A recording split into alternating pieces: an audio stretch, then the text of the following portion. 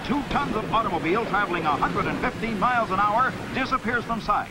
An oil slick on the first turn and a missing guardrail torn out in a previous accident was a combination Jack Smith couldn't handle. Although number 47 is completely wrecked, the driver walked away.